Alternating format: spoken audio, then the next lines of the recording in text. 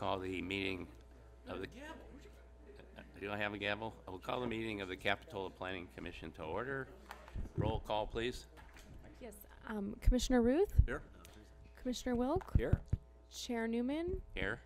Commissioner Christensen, and Commissioner Welch are not here. Is that Okay. Okay. Uh, This meeting is cablecast live on Charter Communications Cable TV Channel 8 and AT&T UVerse Channel 8999, and is being recorded to be replayed on the following Monday and Friday at 1 PM on Charter Channel 71 and Comcast Channel 25. Meetings can also be viewed from the city's website, www.cityofcapitola.org. Our technician tonight is Kingston Rivera. As a reminder, please turn off your cell phones. And if you choose to come up and speak at some point during the meeting, please sign in and give us your name also. Okay. Next is the uh, pledge.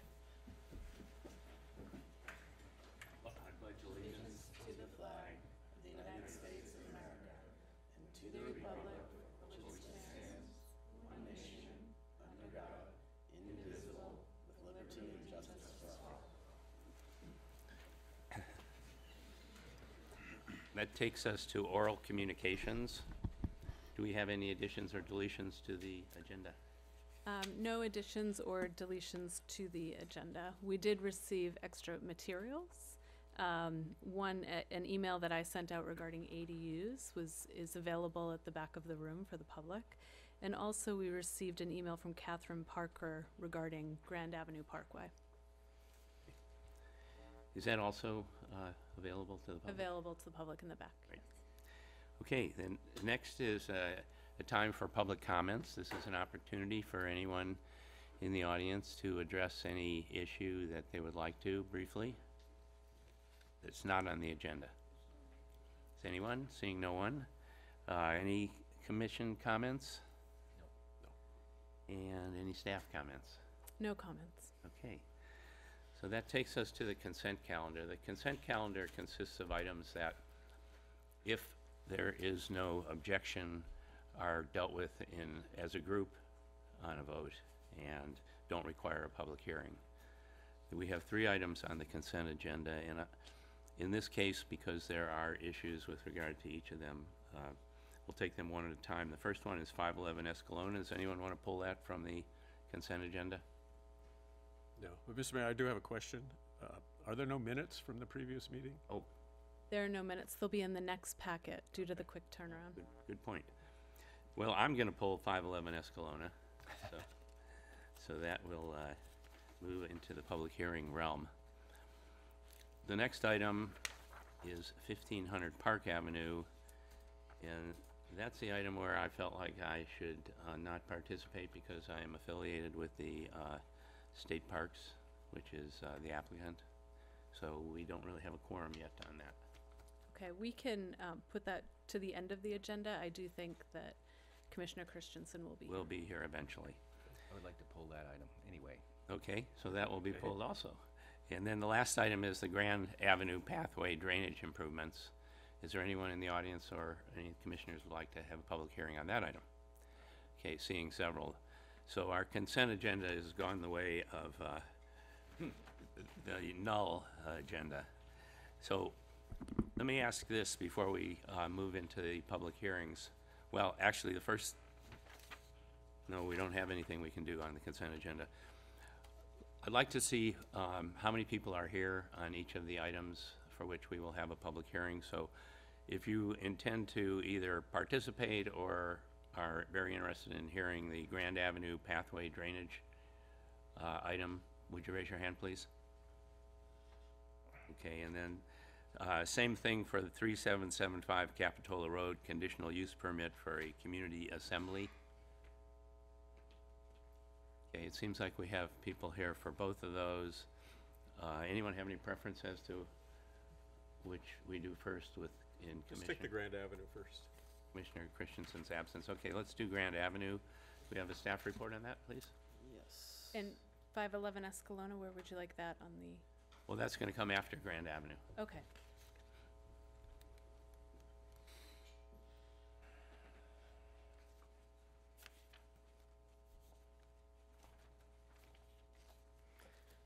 Okay. Thank you, Chair Newman, Commissioners. Um, the City of Capitola tonight is applying for a coastal development permit for drainage improvements on Hollister Avenue near the Grand Avenue pathway in the R1 Single Family Residential Zoning District. The improvements include a new drainage inlet on the west side of Hollister Avenue. City of Cap, oh, sorry.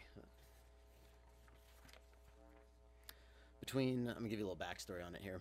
Uh, between Saturday, November 30th, 2019, and Monday, December 2nd, 2019, approximately seven inches of rain fell in the Capitola area.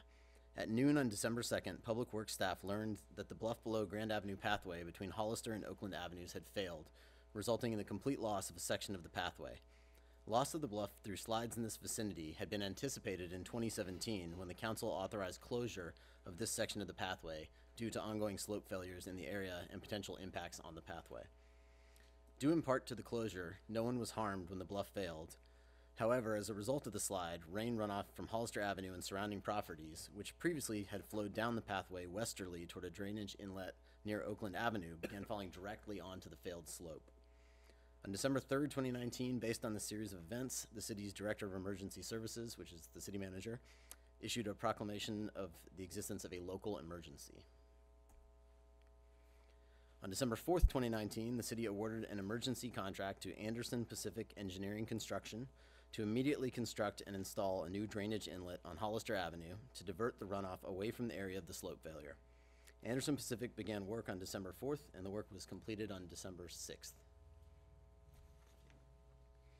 So here we have a drain section showing the uh, curb inlet on the left and the drain outlet on the right. The blue line is the, the pipe from one to the other.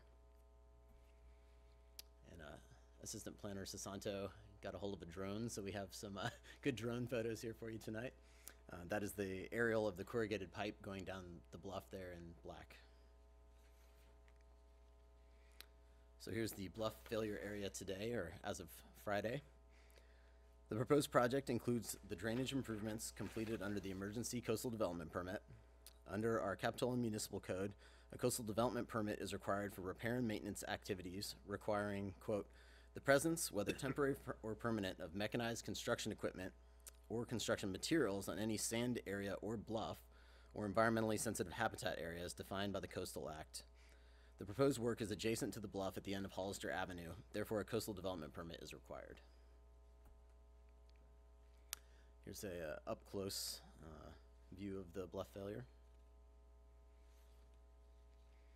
In December, the Coastal Commission provided a letter with a list of items that should be included in a follow-up coastal development permit to authorize the work that had previously been, previously been done under the emergency coastal development permit.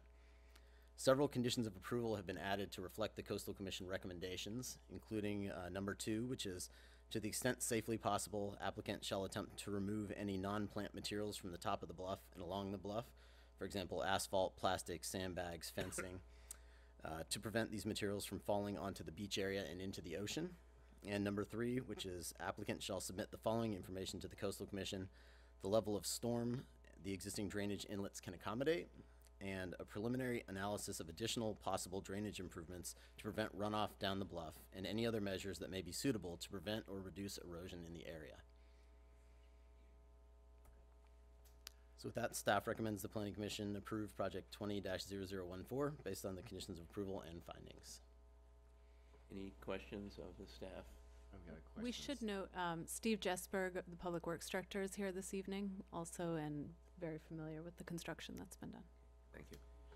So I have a question on the picture of the, the drain pipe. When I walked uh, down by the cliffs, I think two days ago, I didn't see the corrugated pipe. I just saw a big white pipe. Is that, that doesn't look like what I saw. So there's the white pipe leading out to the black pipe. That might have been what you saw. I'm not sure how much of that black you can see from the cliff edge behind the fence. I would just thought maybe that corrugated pipe fell off or something. That probably a better question for Public Works Director Jesberg. It was there as of Friday, so.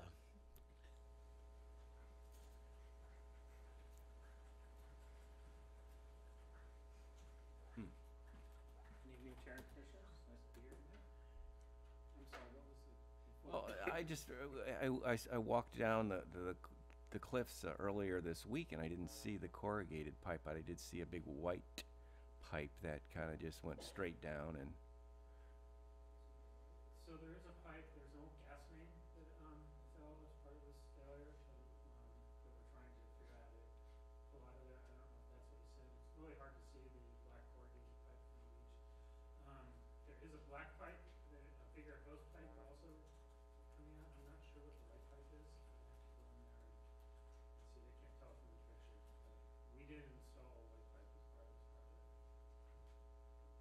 okay, thank you. So, if I understand this application correctly, it's, the work has already been done, and the uh, city is applying for a permit. So what if we deny it?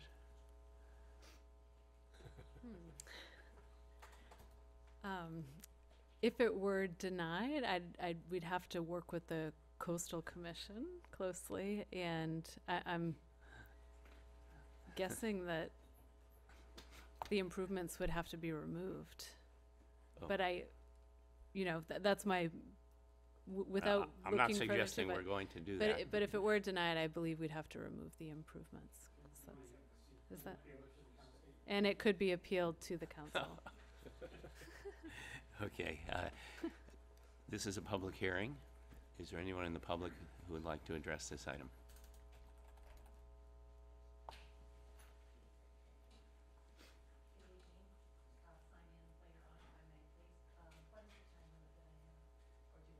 How much time do you uh, need? O- Okay, that sounds good. That's perfect.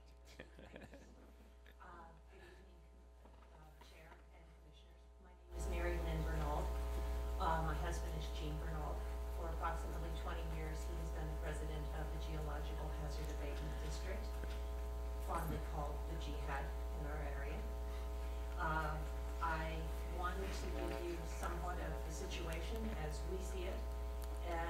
also make some comments, if I may, for going forward. Uh, very extensive report, thank you for that. Uh, current status of the drains, the end of Sacramento, there is a small drain going over the bluff. The end of Hollister, there is a small drain going over the bluff. The middle of the three hundred block of Grand Avenue, a small drain going over the bluff. This was repaired perhaps ten years ago after a cliff failure in that area due to a faulty drain. The drain was not improved because a smaller pipe was inserted into an older, larger drain. We told the city that this repair was inadequate at that time. At the end of Central Avenue, there is a drain located on the west side of Central, about fifteen feet before Grand Avenue. All water, as we should obviously know, should not be going over the cliff, if possible but should be diverted away to mitigate the erosion, which we see here. Small berms should be placed on El Salto to prevent water from other areas of Depot Hill to flow down the north-south streets. Livermore, Sacramento, Hollister, Oakland, Saxon, and Central. This was all brought to the attention of the city in the past. Response was that if they did this, then they would have to improve drainage on Monterey to handle the excess water, and they would not do this. In two thousand two, the GHAD authored, authorized a study of the drainage on Depot Hill, and our consultants discussed this matter with both the city and the California Coastal Commission. The resultant plan was to bore an underground hole from Livermore to Central, connecting all the present home and street drains into it, and have only one drain at Central, which would divert water over the, over the bluff. The coastal commission would only permit one such drain on Depot Hill. Due to the cost and reluctance of the city and various members of the GHAD, this plan was never implemented. That one drain would have been at Central case I missed that line. Moreover, when we built our house and we moved it back fifteen feet in anticipation, we bought this eyes wide open. We were told by the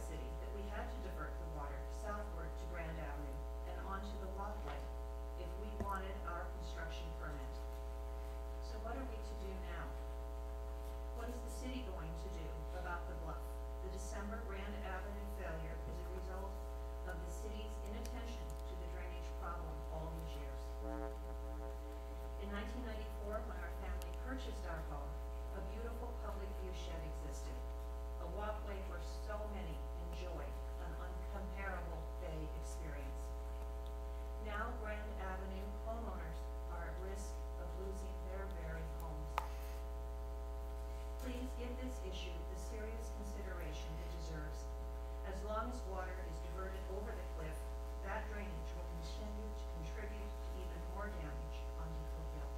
Thank you for your Thank you, and consideration. don't forget to sign in, please. Pardon me? Don't forget to sign in. Right. And the address was four oh six Grand in case I didn't say that. Okay, anyone else?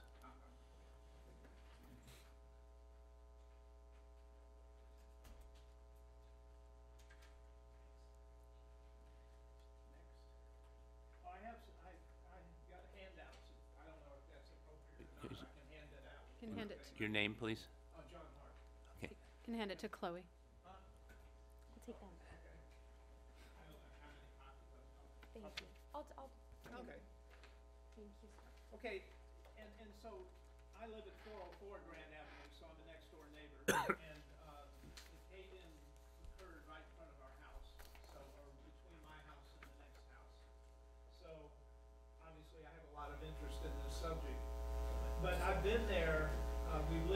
house since, in, in on this lot since, um, nineteen ninety-six.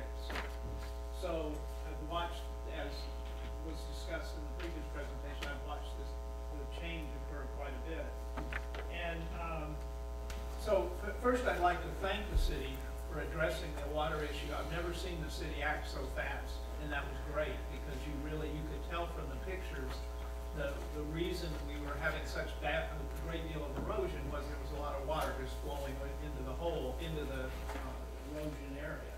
So putting in that drain right away was fantastic, and, and I really wanna mention that, I, I'm really glad you guys did it, and thank you very much. Uh, what I thought I would point out is I've spent a lot of time studying the cliff, and I might be able to sort of tell you or identify how this actually happened.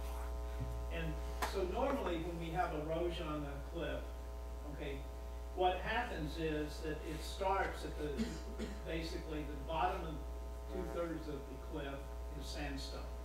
And what happens is the waves come in, eat out the bottom of the sandstone, the sandstone caves in, and then eventually the top goes with it.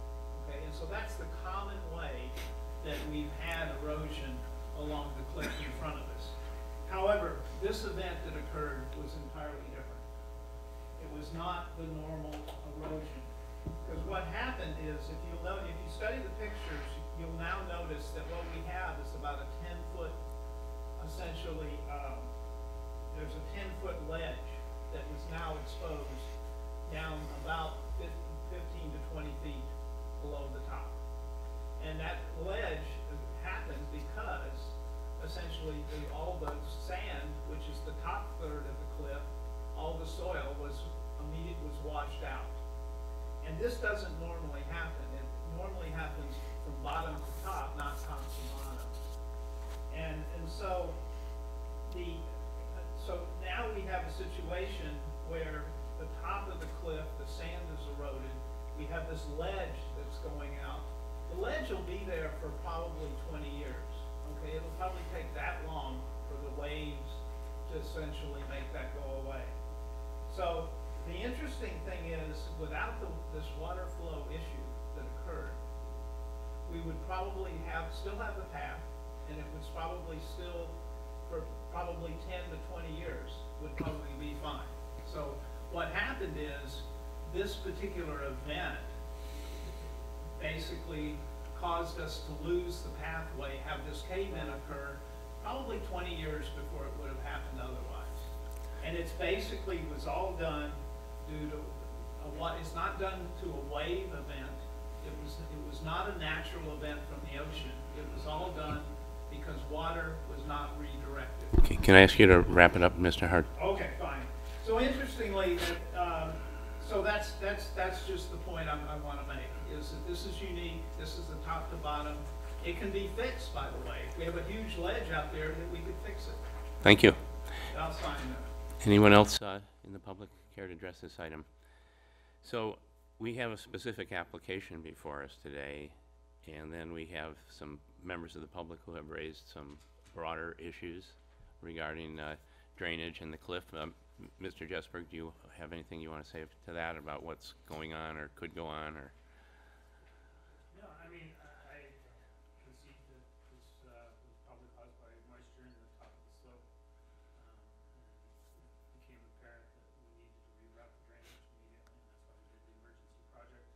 I will, um, state that we, when, uh, I'll say three years ago, maybe two years ago, when we ended up closing the pass because of a failure caused by underdrain, the geologist at that time did say the top slope was gonna fall back um, unrelated to any um, further failure of the bluff below. So, while the previous speaker said it wasn't gonna ever happen for twenty years, uh, the geologist said this pathway is gonna be further damaged function that we had a very stop, steep part for the top sand, and that was gonna find its um, natural angle of repose at some point. Um, Was it exacerbated by the amount of water going through there? Probably. Um, But um, there's no way that pathway uh, was gonna be there for another twenty years. Um, At this point, you know, I know the email that the that the commission received talked about a plan that was done in, because 2007 went back and looked at it. And that involves installing a storm drain system in all of Depot Hill to capture water before it gets to the cliff, pipes at the end of each of these roads running back toward El Salto, putting pipes in El Salto, running all the way back to Monterey, and then replacing the, the drain line, not all of Monterey, just the flat part of Monterey. In 2007, that was an 800 million dollar project today. Um, you know, I, I think we discussed options on how to fund that, including assessment districts and whatnot, and and and never I take it that's not on your capital improvement list that goes to the I council? think we do have a, a- a general Depot Hill drainage improvement on there, but that specific project, um, I, I'd have to look, see if that's on there. So, those are my comments, I'd be happy to answer any questions. Thank you. So I'd be curious, to, has this subject been in front of the city council recently?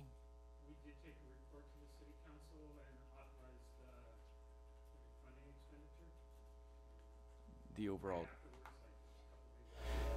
no, I'm, I'm, I'm talking about the, the general, the Yeah. gen, more general concern about the So, gen, um, following the closure a couple of years ago, there was a uh, ad hoc committee, um, that was put together, and they studied ways to uh, arrest the erosion.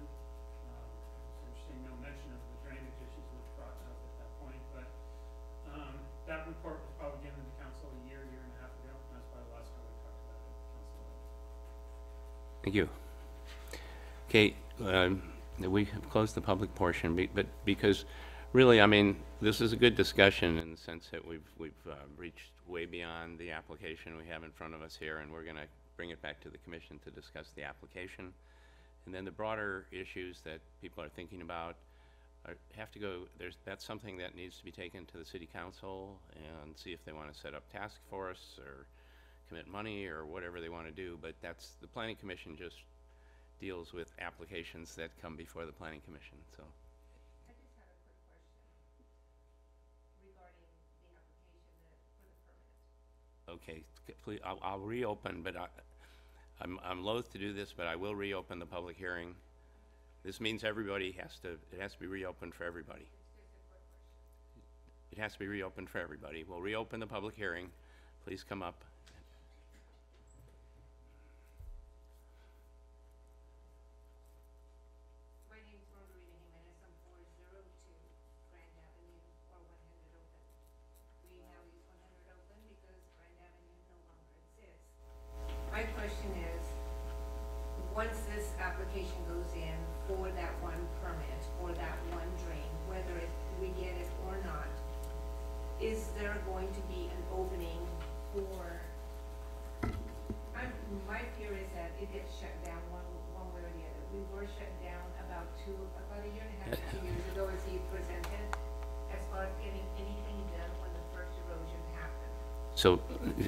What I just was trying to say is that the bigger picture of how to uh, address the cliff problem and the drainage problem in Depot Hill on a, on a uh, comprehensive scale is something that has to go to the city council. It can't be part of this application, which is to approve a particular work that was already done on an emergency permit.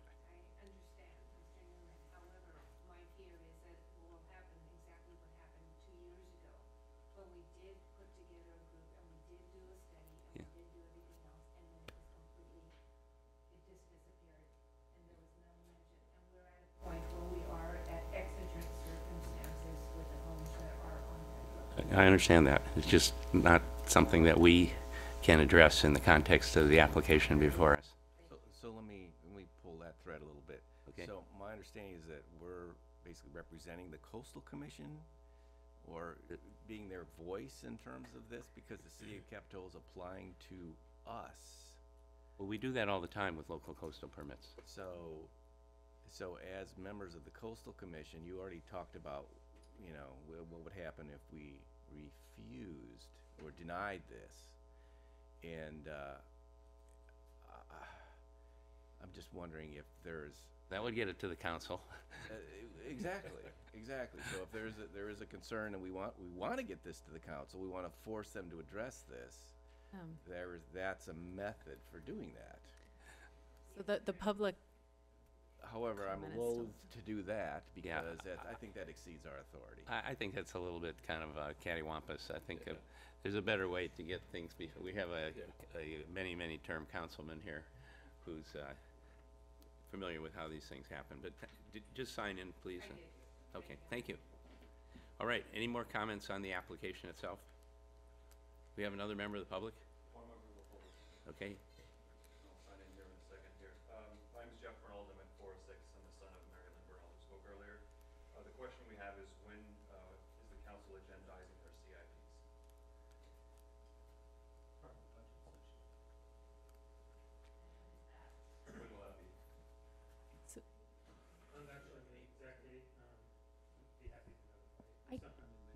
CIP, I think, means capital improvement projects.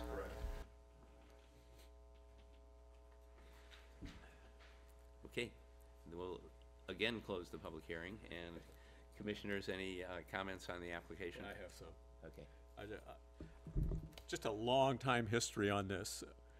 Back in, uh, on a, on a couple points. Back in the early eighties, a builder named Joe Salamita built the condo project that's on the bluff at the corner of Opal Cliffs Drive and Portola. At that time, Gary Griggs did a study that would allow that to be built. And he talked about what was called the sluice box effect.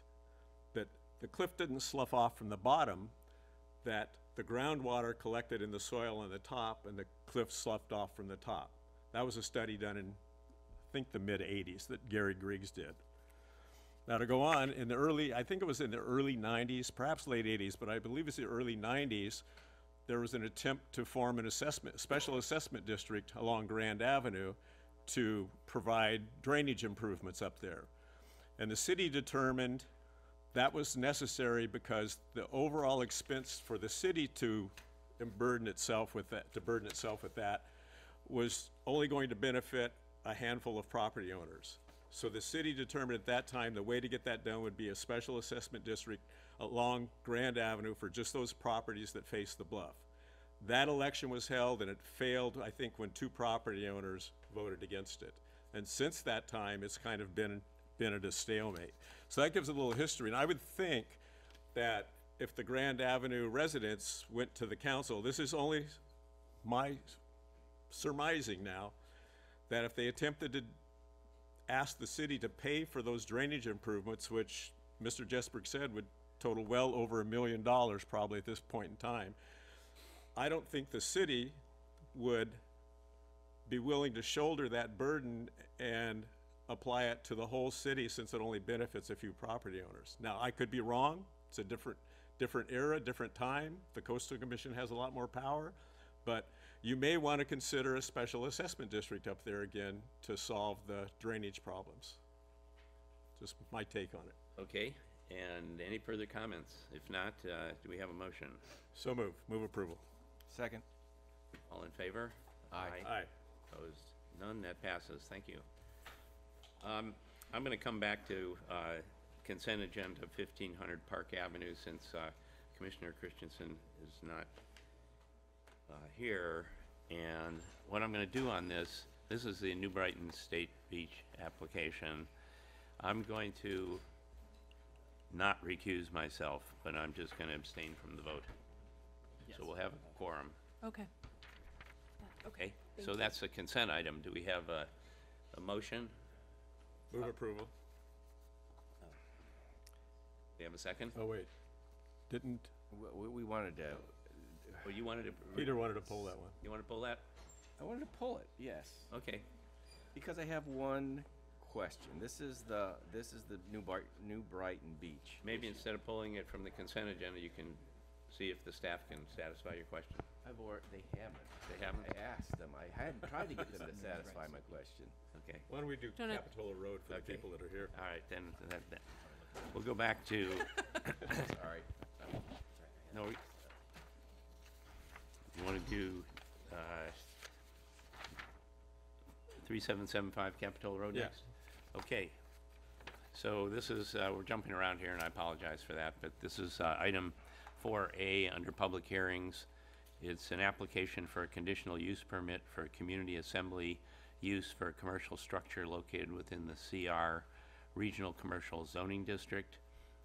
This project is not located in the coastal zone and does not require a coastal development permit. This is the old Takara building, I believe. And staff report. Good evening, Commissioners, Chair Newman. The applicant is requesting a conditional use permit to operate a church within an existing commercial space located at 3775 Capitola Road in the Regional Commercial Zoning District. Sorry about that. The structure is one of the Capitola Mall properties, but separate from the primary mall facility, north of Capitola Road and the 38th Avenue intersection. Uh, The point, uh, which is the applicant here, is a religious organization within Santa Cruz County and is looking to establish a presence within Capitola. Community assembly uses are defined as facilities that provide space for public or private meetings or gatherings. Such uses are permissible in the regional commercial zone with a conditional use permit. Uh, the proposed floor plan. The applicant intends to remove the fixed seating currently in place and several of the interior walls to create a larger space. The assembly area is proposed at 5,587 square feet. The kitchen area, shaded in gray to the left, will not be used by the applicant and is not included in the parking analysis. When considering a conditional use permit application outside the coastal area in the new code, the planning commission must consider the following characteristics of the proposed use. A, the operating characteristics.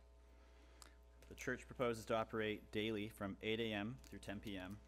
Services to include typical church community events with Saturday and Sunday church services, midweek Bible studies, prayer events, and family and youth events. No external activities were proposed.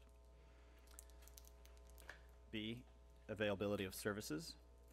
The applicant is not proposing to enlarge the structure, and adequate public services are already established at the site. C, potential impacts to the natural environment. Um, again, there are no changes to the exterior of the building, and, and there are no impacts to the natural environment. The, the site is developed and the structure will not be enlarged. The applicant is not proposing, yeah, so I did that already. Uh, No changes to the structure. And lastly, the physical suitability of the subject site. There are no new impacts in terms of design, location, shape, size, or topography. The one change that could influence the site is the impact of parking from the community assembly land use. Typically, community assembly uses without fixed seating require one space per 40 square feet. However, the subject site shares parking with the Capitola Mall. When the mall expansion was proposed in 1986, an environmental impact report was prepared for the project. Staff reviewed the environmental impact report with respect to the parking requirements and determined that there are currently 205 surplus spaces within the shared parking area. The proposed use would only re- only requires an additional 49 spaces, which is met through that surv- surplus parking on the site. With that, staff recommends the planning commission review and approve the conditional use permit based on conditions of approval and findings. Questions for staff? Okay, this is a public hearing. Is the applicant present? Would you like to, uh, you don't have to, but you're welcome to address us. I'm available for any questions. Okay, that's perfectly acceptable. Uh, Any members of the public wish to address this application? Okay, bring it back, go close the public hearing. Bring it back to the commission. Comments? A question. Uh, Are you going to apply for a sign application or propose a sign at Yes. some other point? Yes, And is the name going to be The Point? no, it's gonna be convergence. Okay. I was gonna say, I don't think you wanted to name it the same as the restaurant. Yeah, I knew you were gonna say that. Okay. They serve better steaks down there. Well, I notice you still have the food prep area in your plan. Uh, I propose, uh, approval Second? Uh, with the conditions as stated? with the in the conditions as staff stated. report? All in favor? Aye. Aye. Opposed, none. That, uh, carries with flying colors. Okay, Okay, where are we gonna jump to now? Yeah. This is a guessing game. What do you think? Escalona? What else is left? Okay, let's do, uh, Oh, 511. Has anybody tried to get a hold of, uh, uh, Courtney again recently? Phone call, quick? no, we'll I've find out. checked my emails and there's no update. Yeah, so some must, maybe she forgot. That's happened before. Um, We do have the owner of 511 Escalona here as well, so um, mhm. So let's do five eleven Escalona. Uh, Staff report, please. Okay.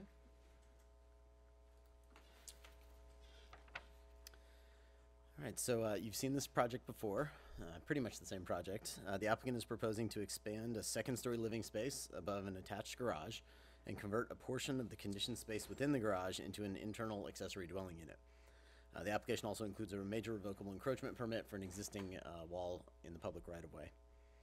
Little history on July 18th, 2019, a design permit uh, for a second story addition, ADU, and encroachment permit, sounds similar, um, was approved by the Planning Commission. On January 2nd, 2020, the applicant submitted updated plans reflecting the new allowances to ADU maximum unit size and parking requirements under the new state law governing ADUs, which we covered at the last meeting, we'll delve into more tonight, uh, that went into effect on January 1st, 2020. The new application is proposing to expand the ADU from the one previously approved to include a portion of the garage that previously provided a covered parking space. All other aspects of the July 18th, 2019 approval remain unchanged. The applicant chose to submit a new application because the previous approval included a condition of approval requiring the applicant to record several deed restrictions related to the ADU, uh, including an owner occupancy requirement uh, and a size restriction that are no longer required under state law. Existing residence at 511 Escalona Drive is a non-conforming two-story single-family residence, which is surrounded by other one and two-story single-family homes.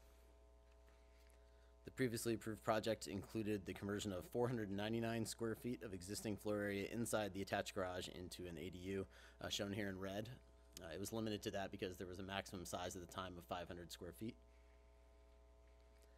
The current proposal includes, includes the conversion of 761 square feet uh, of existing floor area inside the garage, shown here in red. The project converts garage space that would have provided the fourth required parking space for the primary dwelling into an ADU. However, under new state law, when a garage is converted into an ADU, local agency cannot require that those off-street spaces be replaced.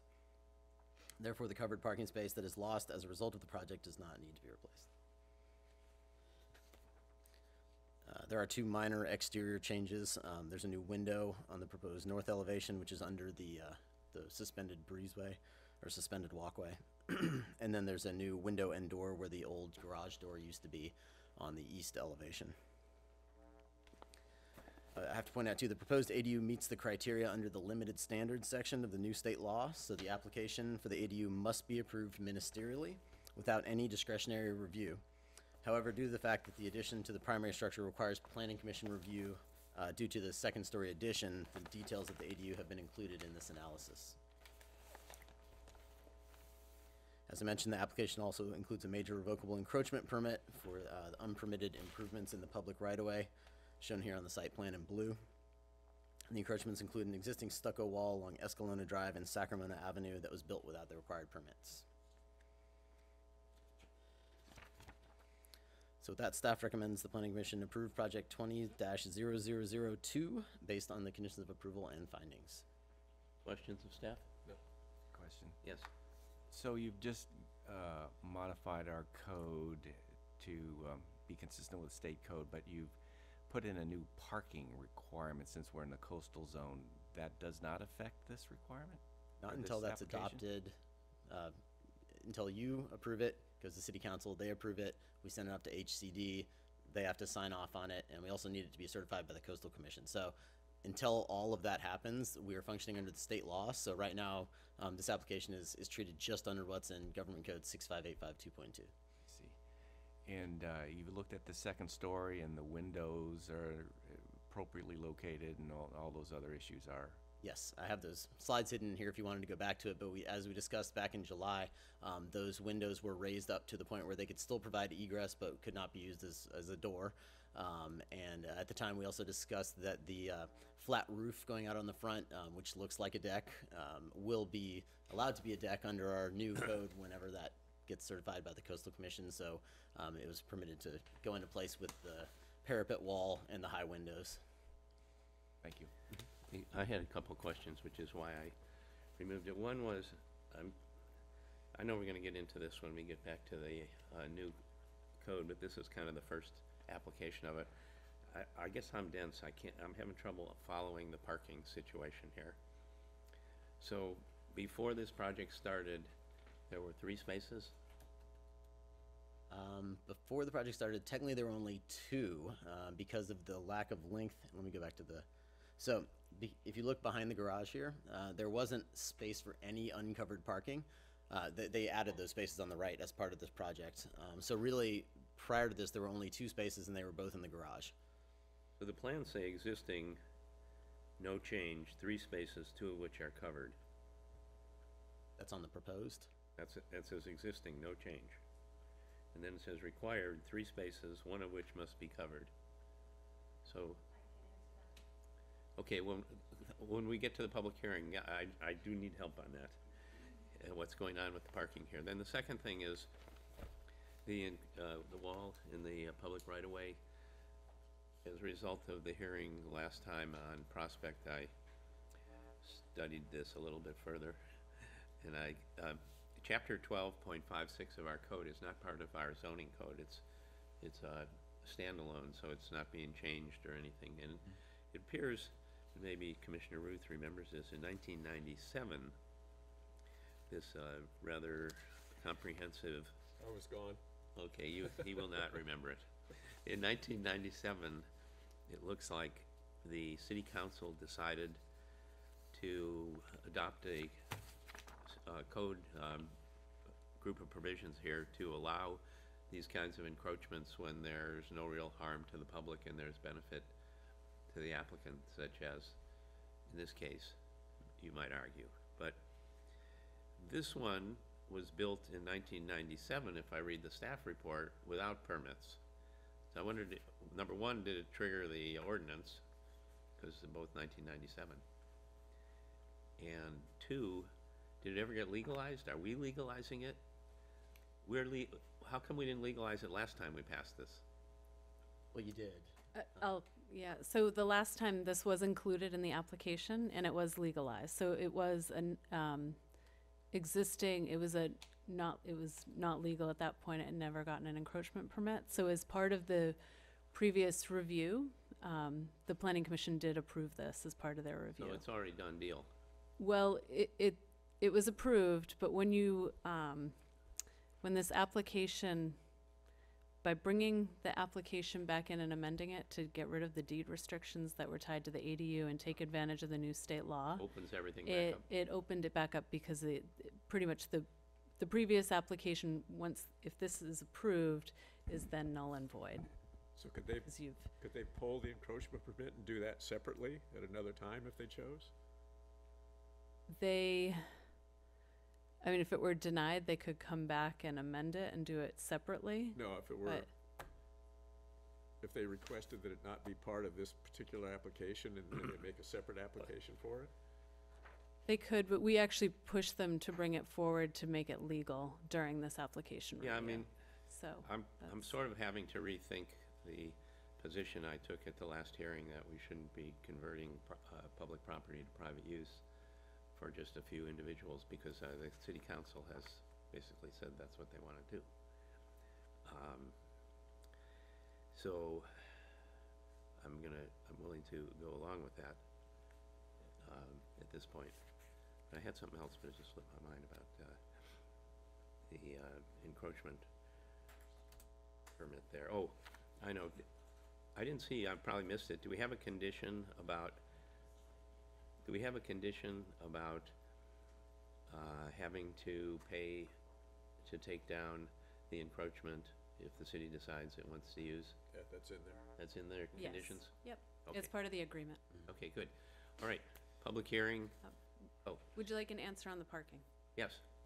Uh, I believe under the previous application, um, we were allowed to count the ADU towards the parking requirement. Um, but under the state law now, we cannot count that towards the parking requirement. So at seven hundred and sixty-one square feet, that took it down to the next category. So it's just one covered, two uncovered.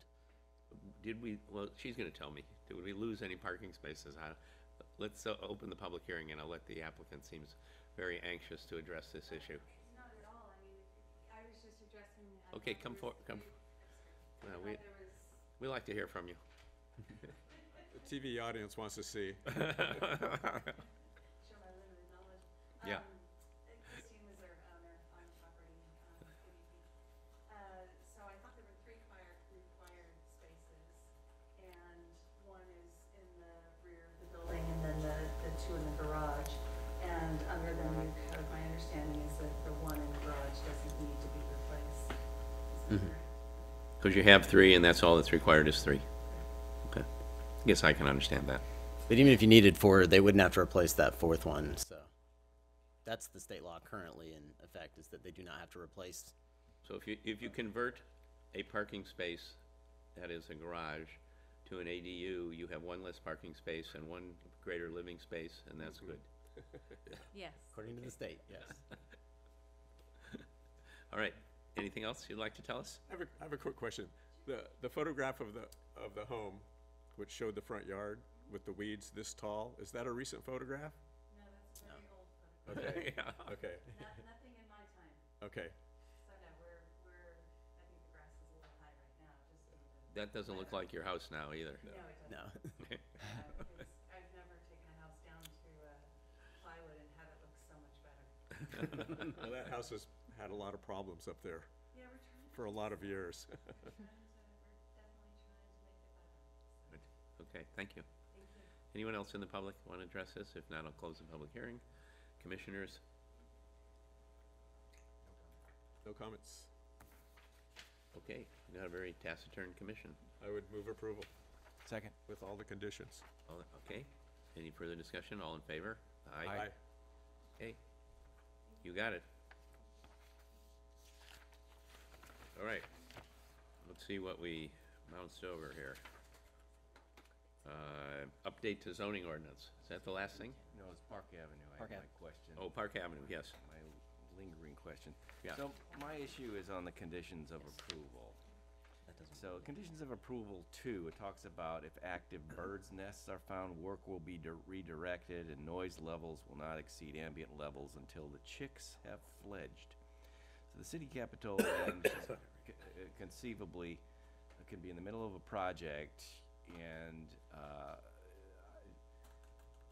and, and, and then, you know, have, have to stop their activity because of, uh, because of birds, and I'm all for birds, but I'm, I would just wonder if this should include the words like endangered species nests, or, I don't know, I, I guess I'm curious to know where this, this requirement came from, uh, w- with the birds' nests. Did the The- staff respond to that?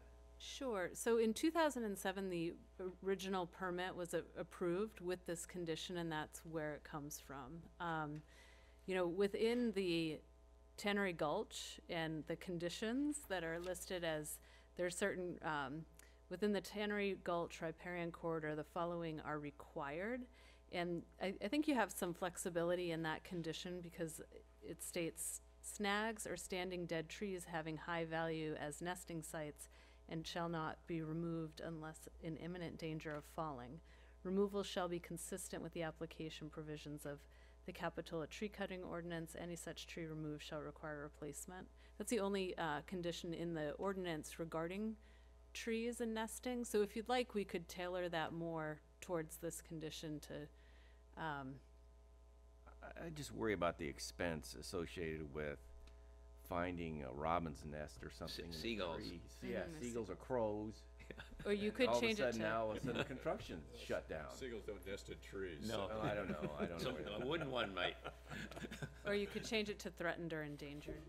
If, So, y- so I would, I would move then that we modify the, uh, conditions of approval to, uh, insert the word, uh, would you call it enda- I said endangered? spe- threatened or endangered. Threatened or endangered species between the word active and nests.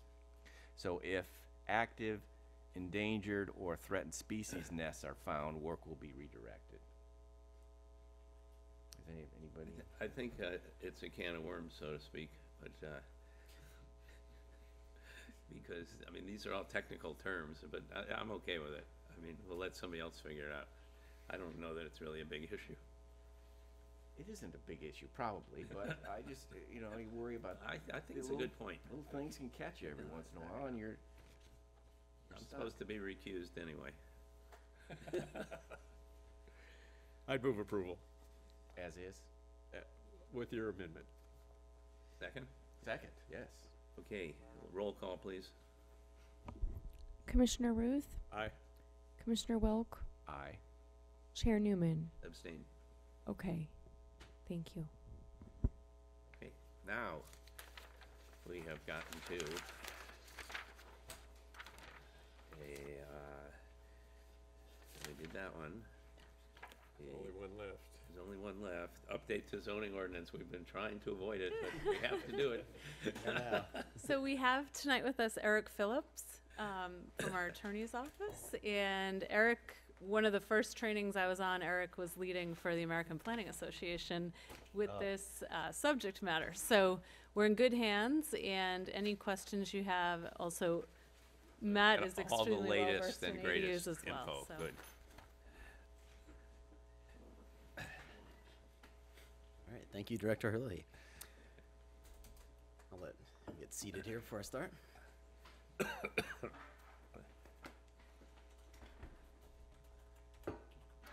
Okay, so there are three proposed zoning code amendments within the current review.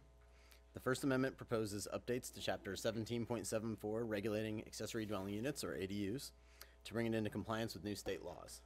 The second amendment is to remove the floor area ratio incentive for ADUs from the single-family R1 zone. The third amendment proposes updates to chapter seventeen point eight oh, regulating signs, and incorporates non-commercial allowances based on recent court rulings. So a little bit of background. We're gonna start with the zoning code amendment one, which is the new ADU ordinance. On January sixteenth, twenty twenty, city staff presented the new state ADU regulations to the planning commission. At that meeting, the planning commission requested that city council provide general direction on the approach for the draft ordinance in terms of either matching state law or making the regulations more permissive. Then on January twenty-third, twenty twenty, city council, uh, received the staff report and provided direction to bring the code into compliance with state regulation and not to incorporate any regulations that are more permissive than the state. So uh, this, this is a long list from the staff report, but they're important because these are the significant, most significant changes. So the new state law identifies general requirements applicable to all ADUs, expands permitted location of ADUs to include any zoning district where single-family or multifamily dwellings are allowed, requires action on administrative ADU applications within 60 days, incorporates two types of administrative review processes specific to ADU scenario scenarios, including units subject to limited standards and units subject to full review standards. It allows cities to require discretionary review process only for ADUs that do not comply with specific administrative scenarios outlined by the state. On single-family properties, it allows a junior ADU in conjunction with a detached ADU if specific circumstances are met. On multifamily properties, it allows more than one ADU per parcel if specific circumstances are met. It allows conversion and replacement of existing structures with non-conforming setbacks and non-conforming building separation standards for ADUs. It modifies the development standard regulations as follows. Uh, removes minimum parcel size, increases maximum unit size, reduces minimum setbacks to four feet side and rear, and increases height uh, to 16 feet for one-story detached ADUs. It also modifies the parking requirements for detached ADUs with specific characteristics.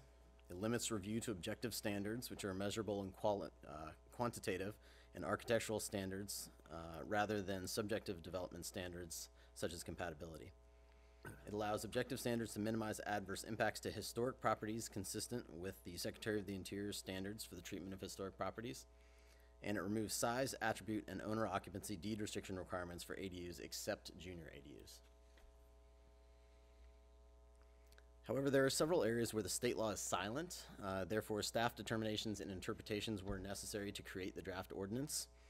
Uh, the first one of those is that the state law does not provide prescriptive guidance on attached or two-story ADUs. In order to create the, a process for review and approval of these types of ADUs, staff incorporated the content and intent of the new state law with the approval process under the city's previous ADU ordinance. Second, state law allows local agencies to apply objective review standards to some ADUs. Staff has included several standards in the objective design standards section, including entrance orientation, privacy impacts, second story decks and balconies, architectural details, and building additions to historic structures. These standards are not required by state law and can be modified or removed at the direction of the Planning Commission. Staff is also requesting Planning Commission guidance on several optional items. Uh, the first one is separate sale of ADUs. This is allowed under state law for certain units, such as ones built by nonprofit organizations. Uh, but staff did not include this in the draft ordinance based on the uh, feedback from City Council. The draft ordinance also includes a deed restriction for all ADUs prohibiting separate sale of ADU from the primary dwelling. Uh, number two is vacation rentals. Uh, this is required for limited standards ADUs only under state law, but staff has expanded this and included a prohibition of short-term vacation rentals for all ADUs in the draft ordinance. And uh, there's also a, a deed restriction for all ADUs prohibiting short-term rentals as well. The third optional item, uh, probably the stickiest of the bunch here, uh, is how the tr- city treats parking requirements in the coastal zone. Uh, at the very end of the government code section, there's um, subsection uh, L, which specifies that the new state law shall not be construed to supersede or in any way lessen, alter, or lessen the effect or application of the California Coastal Act of 1976. It has been determined that this gives the city the ability to maximize protection of coastal resources consistent with the city's local coastal program and the California Coastal Act. Staff has used this allowance to include in the draft ordinance specific standards within the coastal zone, uh, which deviate from the parking standards in other areas of the city. Those standards are that one on-site parking spaces, space is required for all ADUs within the coastal zone, and converted garages must provide replacement parking. However, staff has also included two additional options for the planning commission to consider. So just to give you a visual, this is option one, um, uh, the whole coastal zone outlined in black, um, and it would require parking for all ADUs within this zone. Option two would be to require parking in specific neighborhoods located in the coastal zone. Uh, this is just an example um, shown here that includes existing areas with impacted street parking that we know about, uh, as well as multifamily parcels that now have the potential to create significant parking impacts on adjacent streets. And then a third option would be to require parking for properties located within a specific distance of the coast. Um, so this example shows uh, just 1,200 feet from the coast what that would be. Do we know where the coastal commission is on this issue? No, I do know that the county um, has put in parking requirements for certain neighborhoods, um, such as Pleasure Point, where there's a park, parking issue and vacation rentals and so, um, at this point, is the, the coastal commission hasn't issued any formal guidance since the, the 2020 laws became effective, what was adopted in 2019. Um, there were also a round of ADU changes in 2017, and the coastal commission issued a technical bulletin at that point directing um, all agencies to make sure that the ADU ordinances that they were adopting were consistent with their LCPs. So by extension, I mean, they, the coastal commission wants you to look at and consider compliance with the LCP in connection with the local standards that you adopt. And that's, that's required to comply with the coastal act. Okay, so this is gonna perpetuate a, uh, difference between coastal zone and non-coastal zone Capitola for sure. Yes. Yeah. Okay. in in the just if I may, one additional thought on that is in the future, the LCP could be amended if you wanted to harmonize the two, assuming that that was something that the city was interested in and the coastal commission would accept. But um, to comply with the, the LCP as it is now, one of these options is recommended. So the rationale for changing the parking would be to say that, well, the, uh, the public needs access to the coast, they need parking.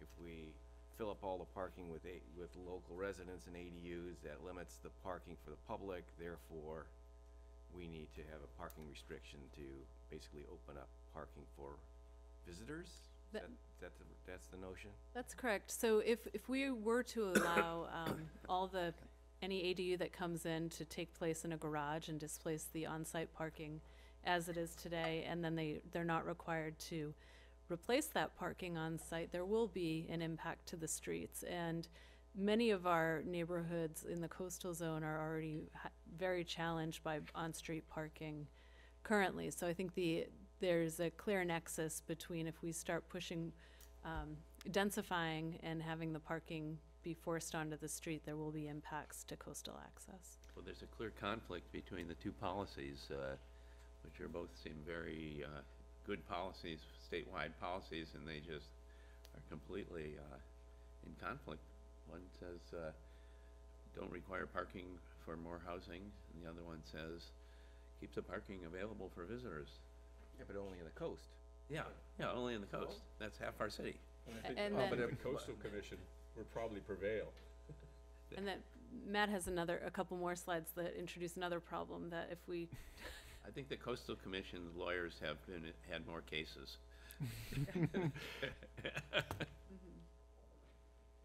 So those were the three options, but do you want to go into the, um, Yeah, so that's, that- that's up next. Um, so basically, just in choosing which approach you want to do, the planning commission should evaluate which option is most aligned with the LCP and the coastal act, uh, which was already discussed here. So in considering the requirement for on-site parking, there's also an aesthetic uh, impact to consider. Uh, within state law, parking for ADUs is allowed within the front, side, and rear setbacks. In Capitola's neighborhoods with compact lots, such as the Jewel Box and Riverview neighborhoods, uh, new parking spaces within the front yard will be allowed and landscaping displaced. To mitigate the impacts of parking in the front yard, the draft ordinance requires parking spaces in the front yard area for ADUs to be limited to two parallel strips of pavement, no wider than two and a half feet each, that utilize permeable paving and have landscaped areas in between the strips, uh, as shown in this example here.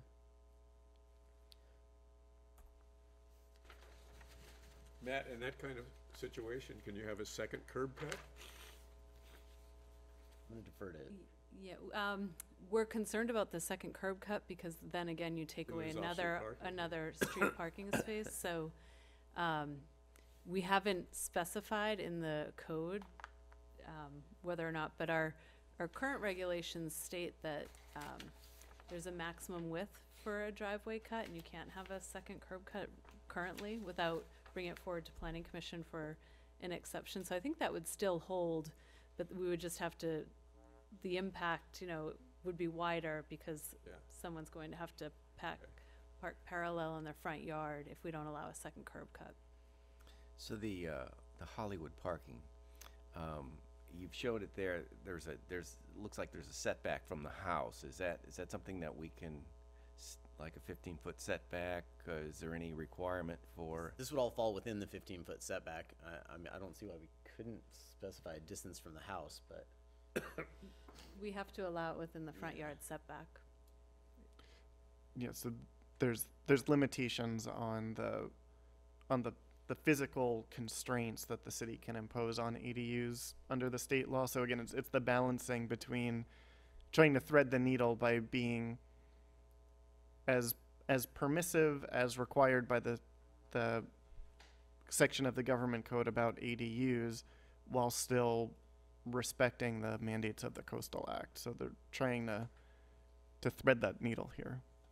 So we don't have, we're not imposing any front yard requirements, then it just, just happens to look that way on the picture. Well, I mean, we're requiring the two strips, so what you see here is what we're requiring, and at, not necessarily in that placement within the yard, but in the front yard, they can have two strips as shown here. I mean, they could be, It could The be other right up way, it could against be the house, almost.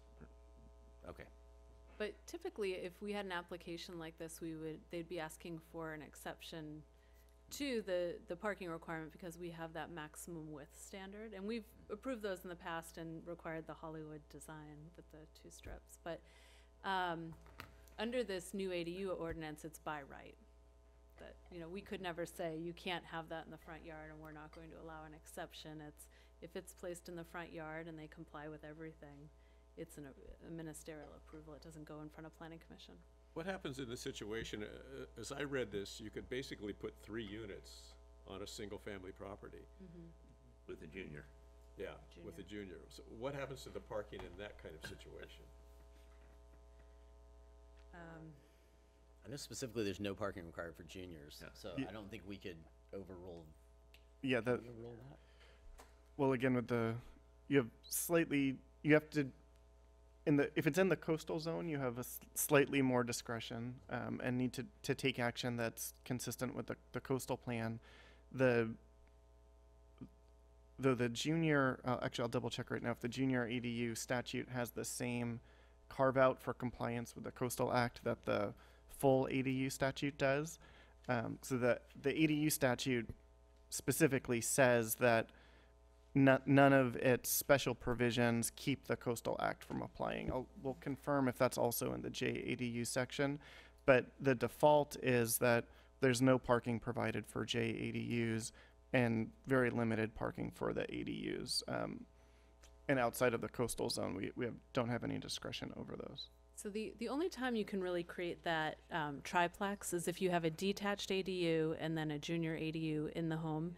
And if you recall at our last meeting, Matt brought up a map that showed all of Capitola and the areas where we could regulate parking. And the only area that wasn't within, is it a quarter or a half mile of a bus stop? Half mile. A half mile of a bus stop was Cliffwood Heights neighborhood because a couple bus stops have been removed recently that have been operating rec- um, so, in that scenario, the only place where you could require parking would be in Cliffwood Heights, because every other, an internal ADU is exempt from on-site parking.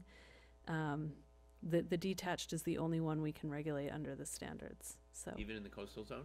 So in the, no, so in the coastal zone, we have that ability, so that's just, if, if we didn't have stricter standards for the coastal zone, Well, so, I mean, I don't mean to jump ahead here. I have, you haven't finished, had you? It's okay, there's just a little bit more. You wanna finish and then come back Sure. and I'm gonna forget what I was gonna say. No, no, say it. Let's do it.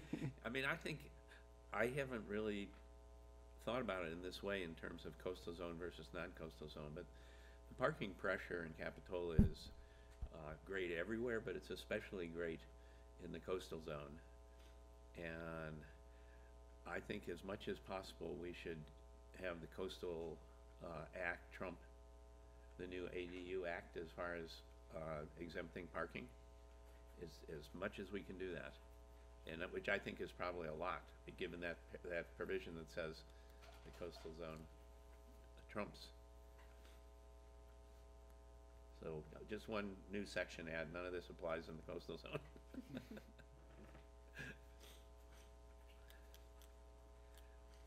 Okay. Uh, also, since the agenda packet went out, uh, staff received clarification on how the guaranteed allowance under the new state law is to be applied. I don't know if you remember this from last meeting, but this is the 800 square feet, 16 feet or less, four feet setbacks, have to approve. Um, The 800 square foot allowance is applied to both existing and proposed single family dwellings with accessory dwelling units, including projects on vacant lots with new single family dwellings and ADUs, and projects with additions to existing structures and ADUs.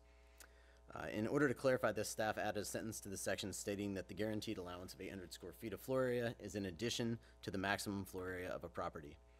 I will give examples of this on the next slide, uh, but this one had a few other little changes as well. Uh, the language in subsection H of the draft ordinance was modified to impose a maximum floor area of 800 square feet and a maximum height of 16 feet. The original language that was in here uh, was from the government code section that established the lower limit of what local agencies could prohibit in terms of floor area and height, and so we just went with that lower limit as our maximum. Is there a minimum size? Uh, it can't be, you can't impose a minimum of less than 150 square feet because that's the minimum efficiency unit size, So but we this- don't have one in our code. no. This just blows a hole in our, uh, floor area ratio ordinance. I mean, you don't have to rent out your ADU. So now instead of building a seventeen hundred and fifty square foot house, you can build a twenty-five hundred and fifty square foot house on the same lot. And if you wanna rent it out at some time, you can, but nobody's making you.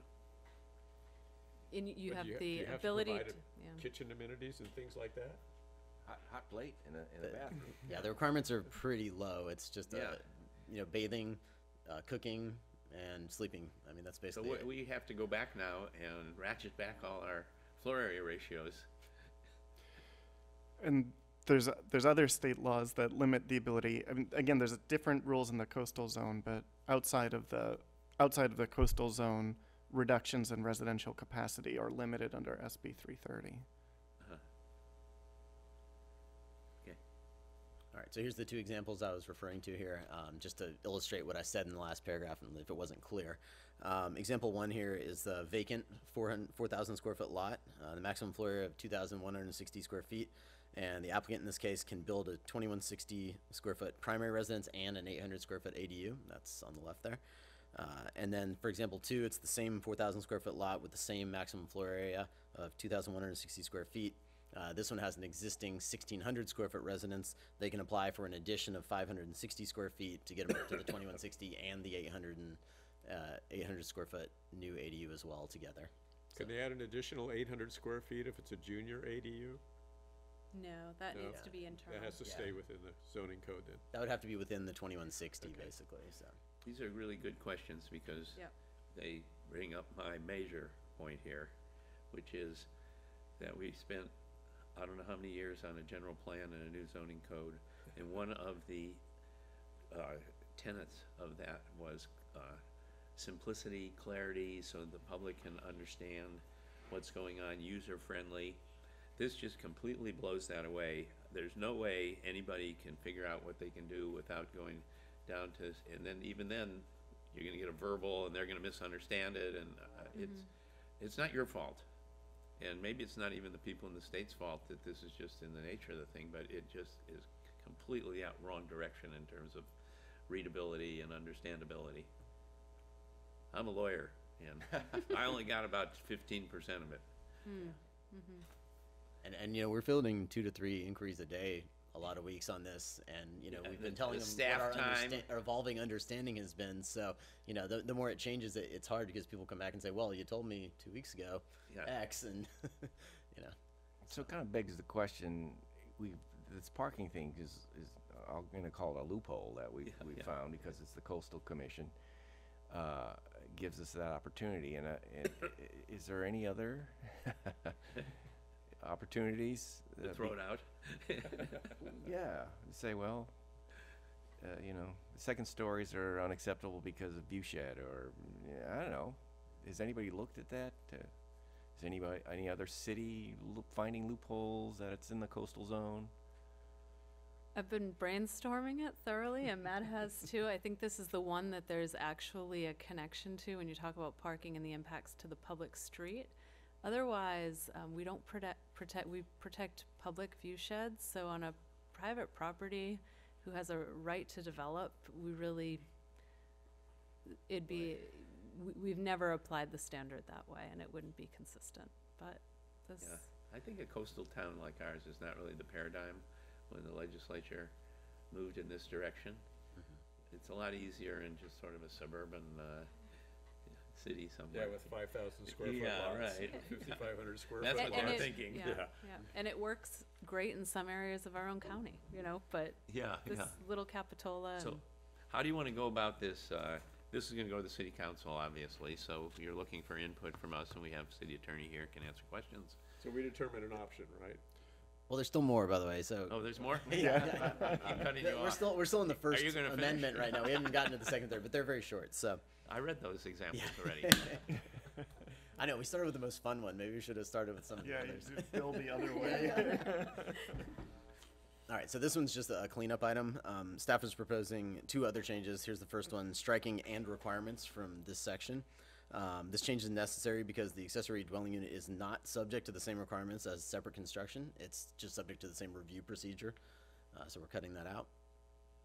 And then this one, um, it just had the incorrect section noted, so I changed this from an H to a G to an H. So Okay. So there's no Arkansas requirements at all for ADU? no, most don't even have a public hearing if they're under the limited standards or um, full standards. Only uh, deviations and two stories. so it may be good, uh, Matt, to stop here and just to get a recommendation on this chapter before we move forward with the removal of the FAR from the R1 zone.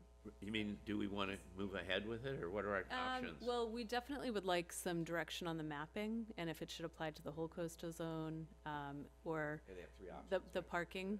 So if you could go back, Yep. Matt. I think we, I say option one. yeah, as, as, uh, Yeah. narrow application as possible. Okay. so Well, tha- and but, that's- but uh, let's explore that a little bit. Why, why did you provide three options? Why, wh- I mean, what was your rationale for the other two options? I, is there a good rationale for the other two options? So can you go back to the, uh, map, the map that we drew, the boundaries? So, Wait, this one? yeah, this one. So, from my perspective, I honestly think if you were going to draw a boundary and not include certain neighborhoods, the one neighborhood that possibly has enough on-street parking and large lots would be the Cliffwood Heights neighborhood. Um, otherwise, the area, actually, I think after we, we just put this on here as an example, but without going through, but north of Capitola Road and the avenues is overwhelmed by parking. There's fourplexes up and down those streets. There's also dense PDs of multifamily. Multifamily, there's exceptions in the state law in which you can get increased density within multifamily to replace carports. There are a lot of, um, so that, that's an area that's already challenged by parking. And from Gayle's and the area behind it, Pine Street, they're really challenged by on-street parking. There's huge parking issues there because of multifamily that exists in that area as well. So if you were to go with an option two, our recommendation, I think, would be just, you know, maybe carve out Cliffwood Heights if you didn't want to require on-site parking because most of Cliffwood Heights has four on-site parking spaces. They're larger lots, um, so that means they have more street frontage for more parking in front, but that's the only reasonable option I see within the coastal zone that could, prov- that has the ability to pro- provide on-street parking. So the, so me, let me see if I understand that. So, mm-hmm. i- in the Cliffwood Heights area, you're saying, well, that's more of a standard residential neighborhood, and if we required the, ad- the additional parking, then they would go ahead and do the Hollywood ribbon parking in the front yard, and it, and, it- but if we didn't, then they would maintain their existing yards, and because there's available street parking. So in terms of beautification of Capitola, perhaps that might be more advantageous because we'd be able to preserve more front yards. Correct, yeah. That's a good theory. Mm-hmm. Uh, I mean, I hate to make it more complicated, but, uh, I think that makes a lot of sense. You're carving out that one area. What about the other, oh, isn't that, uh, that other area in the coastal zone? This was the 1,200 foot coastal buffer. This is the one that Katie and I just did this morning um, as examples of what we were thinking in terms of w- areas we knew were impacted and multifamily and things like And that. what's the other one? This is just the whole coastal zone. Yeah, so there's that, that uh, area on the left side at the top, that in option two would, The avenues. the avenues? Mhm. Yeah, don't you think that they have, are impacted by parking I, I significantly? think they are. So maybe just Cliffwood Height, we need option four. Yeah, maybe just Cliffwood Heights, Yeah. i- if you'd like. that same theory that you uh, uh, mentioned doesn't really apply in the avenues. One repeat, um, Commissioner Wilk's theory though, um, having it not included would mean you'd get those ribbon front yard parking. If you didn't have, it, if you had this option, then they wouldn't need to do the front yard parking. So I think what you're saying actually supports this one, not carving it out. Well, n- so within the coastal zone, we would require the on-site parking, so then we'd have, we'd Alright, end up with more there's- yeah, residents. yeah, yeah, So, Gotcha, gotcha. so if we carve it out, then they would park on the street and they wouldn't have to provide on-site parking Okay. in that one neighborhood. Just Cliffwood Sorry, Heights. I, I went No, there no, no, I too, know. and then Just Cliffwood Heights. just Cliffwood Heights, yeah. Okay. And there's one area of, I don't know if it's technically Cliffwood Heights, but you'll see the yellow, it's, um, high density, or it's like low density along Park Avenue, where there's quite a few duplexes, and I would suggest keeping that out of it, because, um, there's, a- do, do you know, right when you take a left up Kennedy, Yeah, um, Park, there's, if you take that first right, there's, um, McEwen ones? Those fourplexes? Are you referring? to? duplexes. Capitola Shores? Uh, Matt, can you point to it with your Sorry. pointer? Uh, Um, unfortunately, I can't, the way this, Capitola the Knolls. screen's set up Capitola right now. but Knolls, Maybe mean. Sean can point But to it. before you get to Capitola Knolls, it's between the high density, so we wouldn't include obviously the high density apartments, and then, um, that little connection between, So really what we're looking for Jeep, is for you to, to have an option for where you go back with your pencil and you draw the residential neighborhoods that are appropriate, that have fairly large lots and big, you know, front yards and are standard, a- and, and not include the duplex areas and, you know, without carving around every individual house, but, you know, i- isn't that what you're, Yeah, kinda looking for? simplicity. yeah, just the Cliffwood Heights neighborhoods that are not already multifamily is Is how the, I is the would. long horizontal line there on the left, is that Capitola Road? Yes. Yeah, So your house, uh, would be, The whole Jewel Box Yeah, would be yeah. included, yeah. Yeah, all the, all the major neighborhoods, single-family neighborhoods in Cliffwood Heights, yeah. okay, um, so what's, what, what's the rationale for the, just the buffer, option, whatever, So three? that was just if you wanted to pick the, a certain area from the coast in which people would typically walk to, you know, park and walk to the beach. Would the argument there be that's an easier sell to the coastal commission? Possibly, but, you know, you just wanted to give us a menu. just a menu. Oh, yeah, two options are not as good as three. You know, that's the way things work. Okay, I have a, uh, minor, uh, potential change to seventeen point seven four point oh three oh A one. It says, except when a design permit is specifically required, I thought we should add by this chapter, so, cause when I read that, I said, where do I start hunting? Yeah.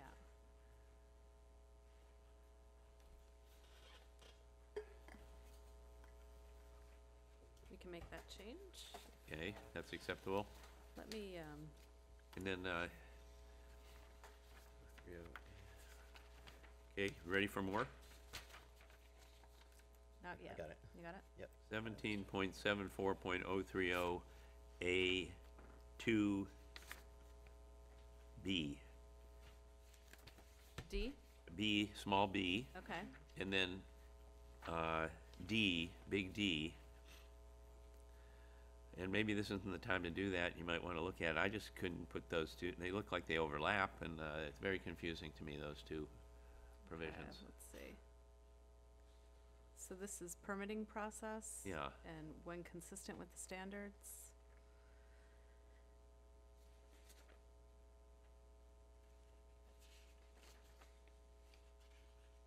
I get the part So- about uh, so B- postponing it when it's a new, uh, a new application, but other than that, So that was similar to the application we saw tonight. yeah. Um, and then D, when dependent on separate construction, when a proposed attached or detached accessory dwelling. Maybe you could look at those, because I just, uh, you know, I, I didn't spend, uh, Oh, this, this is so, um, the single-family home is built and not just the ADU. I- It's requiring, um. right, upon well, I can, I, I don't wanna take up a val- a valuable time, everyone's time here, I can if you want, I can address that, uh, later, but I just, I'm just saying that I found it very, uh, obtuse. You raise a question, this, what, what does dependent upon the construction of a new building mean? So you're, under the state law, you're not allowed to build an ADU unless it's in conjunction with the single-family home? Is Or- my, Or a multifamily. or a multifamily. So, um, when it, so therefore it's dependent on separate construction. It's, so if it's a vacant lot and they're gonna build an ADU, this is just, um, So new building refers to the ADU and not the single-family home that's already there or being built? Th- There's a specific section in the, in the state law that um, elaborates on, it. so most of them are sixty-day approvals, and then there's this big exception carved out for when it's paired with a new single-family dwelling.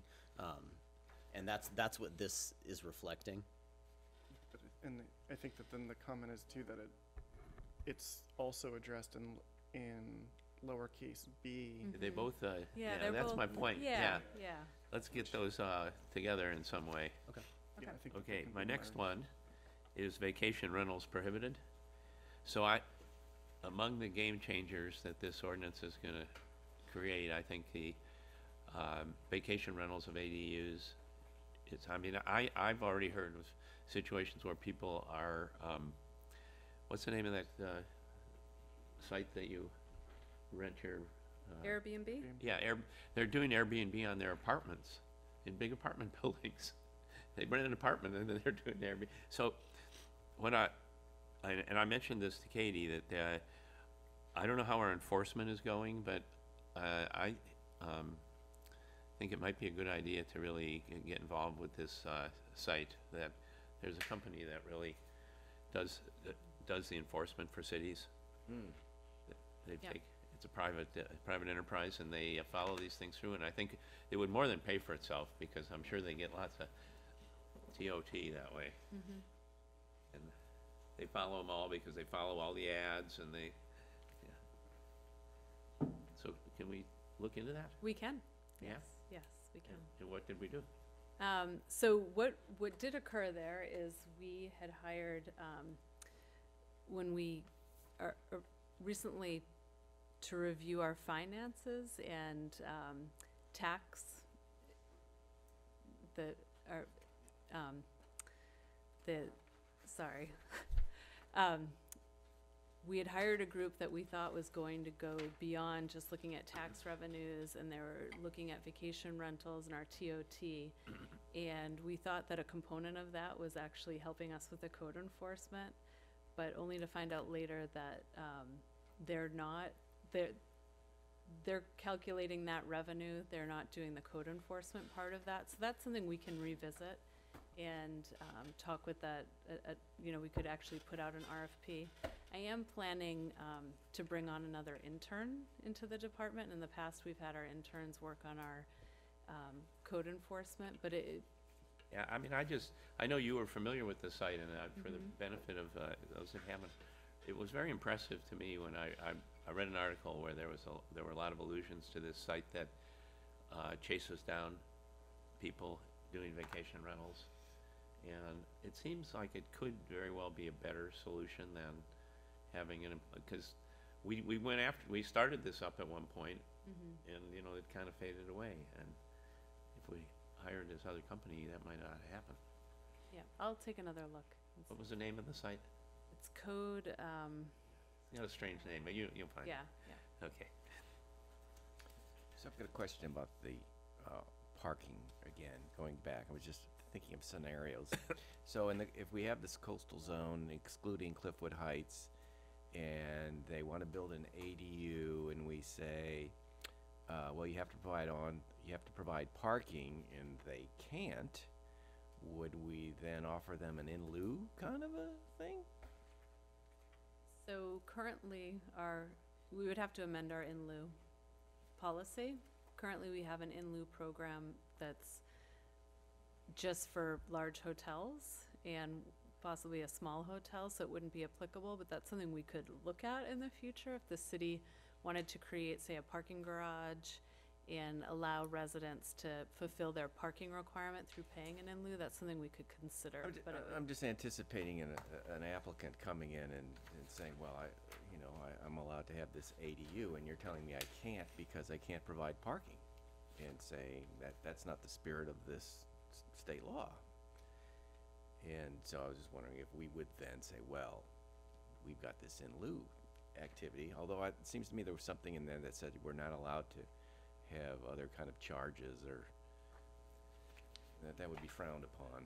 Yeah, there, there's specific fee limitations uh, depending on the size of an ADU. An ADU that is 750 square feet or smaller is exempt from impact fees. Right. Um, larger ones have to be charged proportional impact fees based on their size relative to the primary dwelling unit.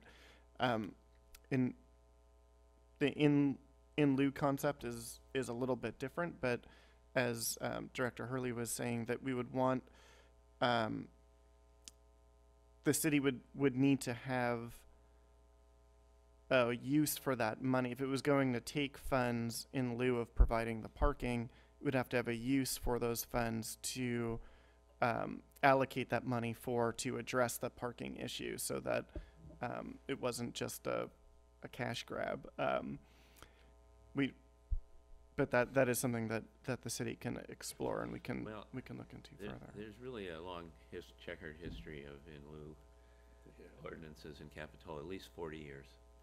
And we've had them and not had them, and the money's gone where it's supposed to go, and it's gone where it's not supposed to go, and at this point, I mean, it, I don't think we can do it piecemeal. If the, the city council has to decide if they really wanna get into the in lieu business, and then they need to do another section of our, uh, ordinance and figure it all out.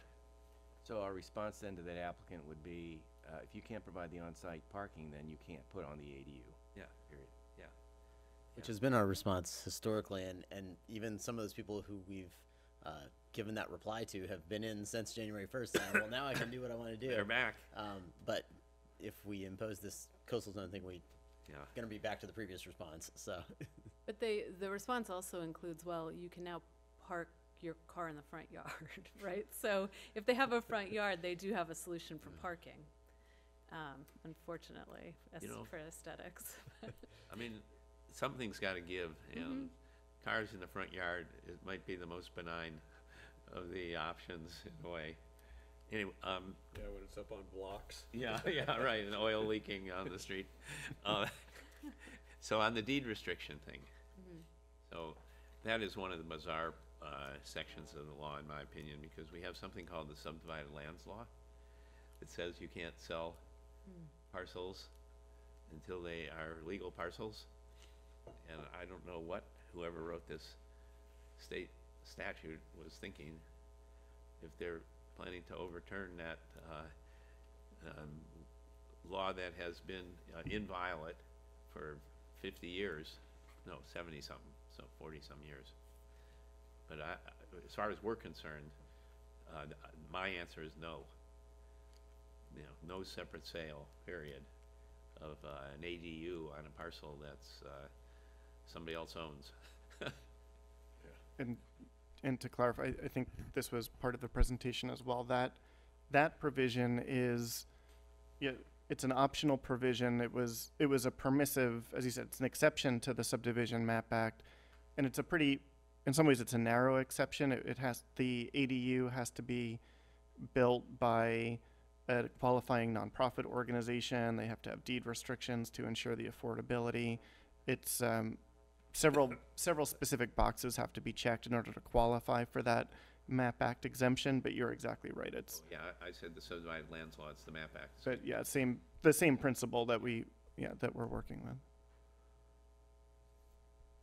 So I Okay. guess we should get some clear direction on which approach to take. It sounded like it, there was discussion focused on maybe making an exception to Cliffwood Heights, except Oh, for the we're back- multifamily in the that parking. area, for the mm-hmm. parking.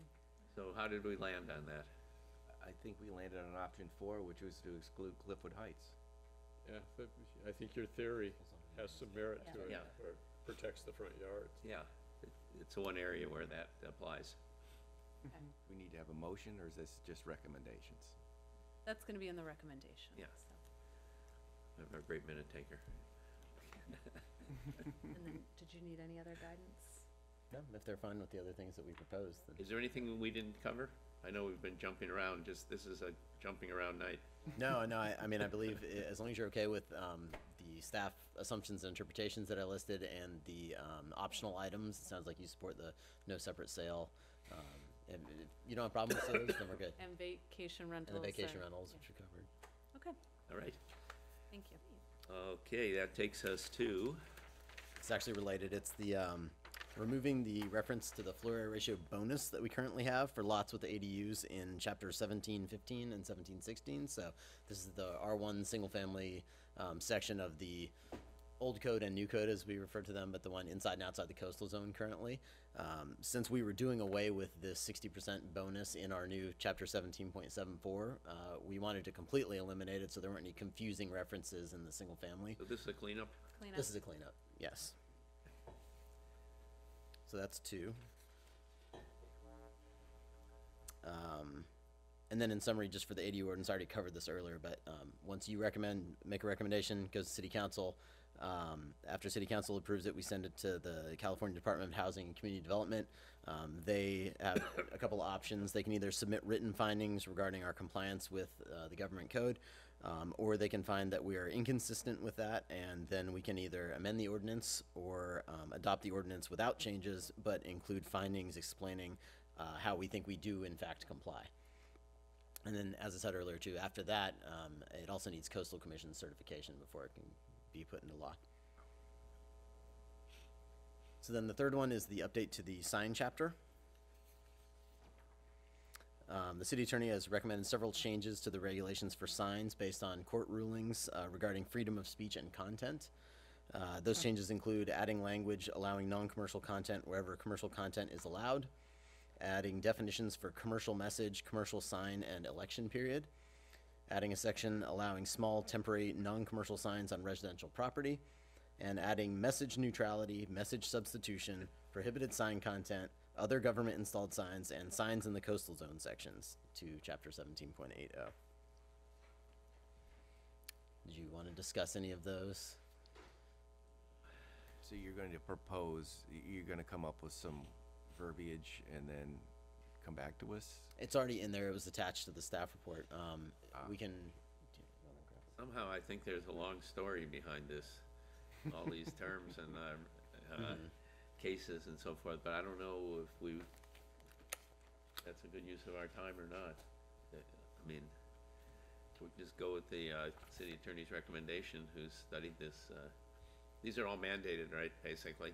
Yeah, and this is, this is an area that is, again, where discretion is highly limited because of, here it's specific court cases rather than the legislature, but, um, the, all the way up to the Supreme Court, and that it's defined pretty clearly what is and is not in bounds at this point.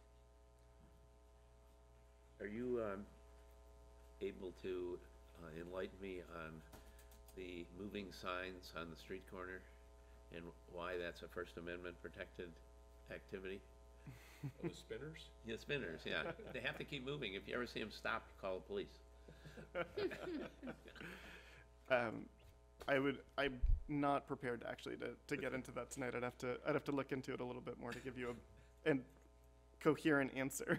Yeah, thank you. I didn't mean to put you on the spot. No problem. Okay, anything further? Are we gonna go with, uh, the city attorney's, uh, Yeah, I agree, yes. uh, work product here? Okay, so that's good. All right, so that's, that's it for It? this item. Thank you. Good job. Thanks. Uh, anything further? So we will need a motion with recommendation Okay, for so both- all three. I'll look for a motion to, um, recommend the city council, uh, enact the ordinance with the changes that we have, um, recommended. I'll move that. Okay, A second. okay, all in favor? Aye. Aye. Thank You for creating that motion. Director's report. Director's report. Well, great news was received today. Um, we did receive our SB two grant approval. So, um, I had gotten preliminary information that it was being pushed to the next step, but we've, uh, gotten the approval. So we will be m- moving forward with more objective standards in our code. That's one area that when housing, um, applications come in that need to be looked at through, uh, new regulations at the, or laws at the state level, by having stronger objective standards, we'll have more design criteria in place, um, that can be measured and reviewed, so we're gonna tighten our ordinance that way.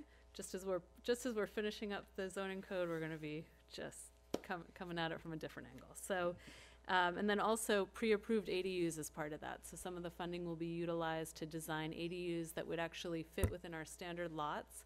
And we're gonna be brainstorming through this, so probably at the next meeting, I'll be asking if there's a volunteer planning commissioner that'd like to get involved in this process. We could have up to two, but to start brainstorming how we're gonna approach this and, um, start moving forward with a pre-approved ADU, we'll probably have up to maybe four designs with the money that we received, so. I've seen them advertised online now. Really? Yeah. Yeah. So, um, again, uh, I, I, um, lobbying in favor of trying to keep it as, uh, user-friendly as possible as we keep adding complexities. mhm. I know that's not easy, easier said than done. Yeah, yeah. Okay, any other directors? I have one quick That's one. it. What's the status on, now it's the tap room over here? Uh, it was red tagged today. Um, we red tagged it about a month or two ago because they were putting pavers in and the whole front yard is prepped again, in violation of the CUP. There was a limited area for access to the trash. And so we'll be, we're trying to meet with the owner and the contractor tomorrow, but they're unavailable, so I think we'll be meeting with them Monday. But that, that's gonna be pulled out.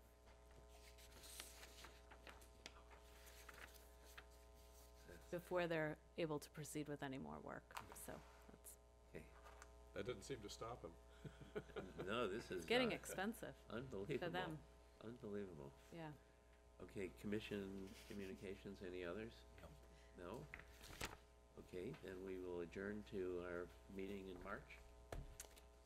Yes, Okay, that's probably something like March sixth. March fifth. Fifth. Yes. You know how I knew that? Oh, I know. February has twenty-eight days. This year, February's Oh. twenty-nine. Oh. It's We've got a leap, we've got a leap year. Yeah. Yeah, yeah, Sorry. thank you. It's my daughter's birthday. I should have remembered. Oh, no, March fifth.